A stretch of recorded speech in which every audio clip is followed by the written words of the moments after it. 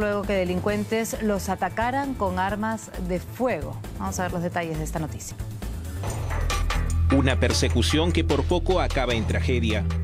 Estos dos agentes del Serenazgo de San Luis arriesgaron su vida y por poco se encuentran con la muerte, luego que un grupo de delincuentes le disparó al vehículo municipal, luego de ser sorprendidos tras robar un auto. Se escuchó tres disparos, tres disparos se escuchó. Bueno, ahí es lo que nosotros nos podemos hacer un recaudo. Cruce de las calles madrileña con Rosa Toro. Este auto plomo ha sido robado segundos antes. Lo escolta un vehículo oscuro. La central del Serenazgo es alertada.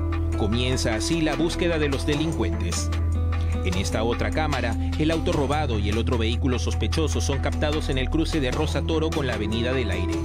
Al notar a los vehículos del Serenazgo, los delincuentes aceleran. Empieza la persecución.